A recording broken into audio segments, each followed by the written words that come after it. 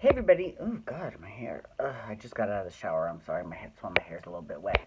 My name is Angel Benton, and this is the Angel Sudsy Recap, where we delve into the world of daytime television and we do a few reality shows on the side. And one of those daytime TV shows that we are doing is General Hospital. But before we get into this past week on General Hospital, so today's Sunday, and Super Bowl Sunday, and you know, here's the thing with the Super Bowl with me. You know, depending on who's performing at the halftime show, I might tune in or not. Now, I don't necessarily have anything against Justin Timberlake except the fact that, you know, I think he should have I think he should have at least acknowledged a little bit that uh about Janet Jackson. You know what I mean? Because I think it's kind of fucked up that Janet Jackson can't come back to the Super Bowl and Justin Timberlake can. So that's kind of whatever. In any case, now having said that, I have to say I think I this is what I think and I could be 100% wrong. So if I'm wrong, that's fine. You know, I'm just this my theory is that they both knew exactly what they were doing at the Super Bowl. There was wardrobe malfunction, my ass. They both did it on purpose. Um, but regardless, I think that you know, I think that it's a little bit excessive to ban Janet Jackson from the Super Bowl, but not Justin Timberlake. So that's kind of it's kind of fucked up. Okay, but so as much as I, you know, I think he's fine. You know, I loved him in that movie with um, Mila Kunis. I don't even remember what it was, but you know, he was fine in that. Um, he was good in the Social Network too. You know, but other than that, and he's great on Saturday Night Live. He's hilarious. But you know, I'm just I'm not a huge fan. I I'm not I'm not a Justin Timberlake stan. So you know, in terms of him doing the Super Bowl. Mm, mm, Sorry. So I haven't watched the Super Bowl at all. But why do I have to when I can just go onto Facebook and Twitter and I can see everyone either bitching about his performance or loving his performance, which it's actually been about like for every one person that loves it, there's like four people that hate it. So I'm just saying. And then also, um, Pink. Apparently, Pink was just incredible during the the the national anthem. So kudos to you, Pink. Good for you. You know, I know that you're sick and you did great anyway, so you better get it. Okay, so let's talk about General Hospital. So I mentioned last week how Ryan Paevey was leaving the show and how um, he hosted this this like uh, I think it was a Twitter. Yeah, it was a Twitter. It was an Ask Me Anything that you know. Um, General Hospital does that a lot though, so that's good. They have they have their cast at, do the whole Ask GH, and then you know you talk to the people in the show, and that's that's really good. It's a nice way for them to connect with their fans. Do I look a little bit skinnier? I feel like I do. I feel like I'm getting thinner. Oh my god, I had two hours of pole dancing class today. I want to die, but no, it, it was good. It was fun. It was great. Um, okay, so back to General Hospital. So, you know, and like I said, I just think that Frank needs to just call Genie Francis because it's annoying. But I would like to see Genevieve back in Young and the Restless. I'm just saying. So, uh, here's the thing. This week is the week that Nathan West, who is uh, the character that Ryan Paevey played, uh, was killed. And I have to give, well, okay, here's the thing. Now, everyone was talking about Michelle Stafford and Kirsten Storms and what great actresses they are and what a great performance they gave. And I'm not going to disagree with any of that. I think all of that is true. However, I would also add to that mix Risa Dorken, who plays Amy Driscoll. Oh my God, she was devastated. Because, you know, if you think about it, her brother is alive because of Nathan and Nathan's gone.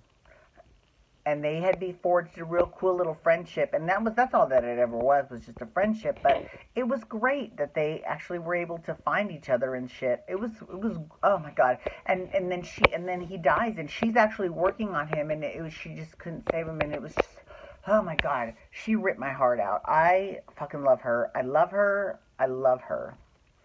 Um, yeah, she's great. Okay, and there was someone else that died, Cesar Faison. So Faison died, and we found out that Peter August is Faison's son. Now, who is his mother? We have no idea. Although it might be Anna. Anna's talking about. I mean, if Anna is Peter August's mother, that's not good. That's like a that would be like a serious rewrite of history. And they've done that before. They did that with Laura and Nicholas. So, yeah. Now they were able to sort of make that work, but like I said, here's the thing. And this with all soaps, not just General Hospital. There are certain wells you can only go to once, right? So they went to this I had a child a long time ago. I gave him up uh, well one time with Nicholas, and now they're doing it again with Peter August, and it's just like, oh my. Well, no, I don't know that they're doing it again. I don't know. I know that she said that that Faison has a son. I, I mean, I don't know. Maybe she's got another. I don't. God, I hope not, though. Ugh. Okay.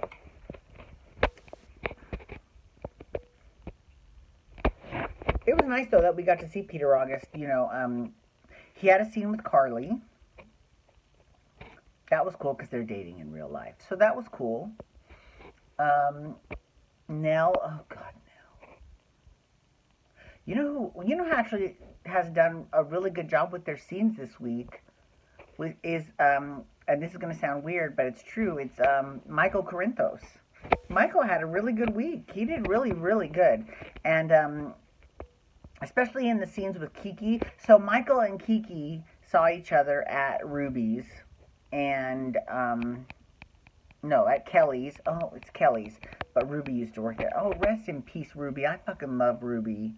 I wonder if it was ever addressed what happened to her. She's the best. I fucking love her. Anyways, um,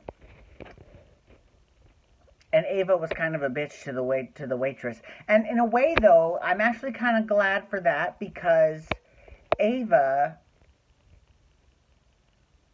it proves that Ava is not perfect and she's not redeemed 100% yet. And that's good though because, you know, human beings are, there's no one person that's 100% um, good and there's no one person that's 100% bad. We're all shades of gray. Everyone is. So it's nice to see that uh, all these wonderful things that Ava's been doing with her life, but she's still a little bit of a bitch. That was nice. I thought that was a nice that was a nice uh, touch. Um, you know what? I, you know who I think is sort of missing from this because Kirsten Storms was just ripping my heart out all week.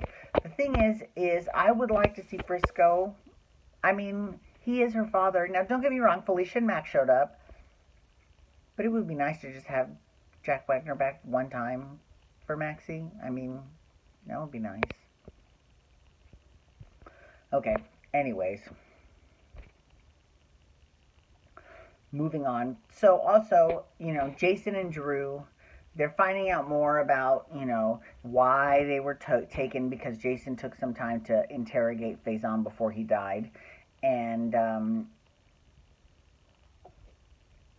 basically, basically, the long end of the story is, um, Faison wanted Jason to be his enforcer as opposed to Sonny.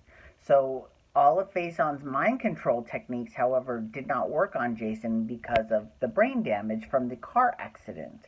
So, yeah, because he was in a car accident with his brother AJ, and that's why, that's how Jason Morgan was born, because he had no recollection of his time as Jason Quartermaine. Okay, that's fine. So, uh, he was researching the Navy SEALs and then he saw a picture of a guy that looked exactly like Jason. He ran the DNA test and found out they were twins. And Dr. Maddox had been doing this, uh, uh, and this is where it gets a little bit stupid. Is Dr. Maddox had this, uh, this, uh, this he was doing research on on twins and memory and then he decided he downloaded all of all somebody's memories onto a flash drive. I mean, that that part is pretty stupid. That's something that I would expect on Days of Our Lives. Not because it's stupid, but just because it would fit in with that show a little more than it does in General Hospital. I'm just saying. Um, and you know, then they got Drew instead. So, and they gave Jason Drew's memories. I mean, uh, it doesn't make any sense to me. But I mean, it makes sense to me, but it's kind of stupid. Just saying. Anyways, thank you so much for logging on today. So I remember how I was talking about how I was going to be doing my special series this evening. Uh, I don't know if I'm going to be able to do it tonight or not. I might do it tomorrow morning. So keep in touch. It's coming. It is very, it is very close. Um, and I think I've decided what I'm going to talk about. And it's something that happened to me close to, no, well, 19 years ago. 19 years ago. So we'll discuss, we'll discuss. Anyways, thank you so much for logging on today. I do appreciate it. Please feel free to follow me on Twitter, Instagram, and Snapchat at Angel Benton. You can hashtag GH Talked About General Hospital, or you can also hashtag Amazing Race to talk Amazing Race. I'm doing that tomorrow, probably tomorrow night. And you can hit that subscribe button on my YouTube channel to get my YouTube videos sent to your email inbox every single day. All right, everyone. Thank you so much for logging on today. Have a wonderful day. Peace out. Wubba, wubba, wubba.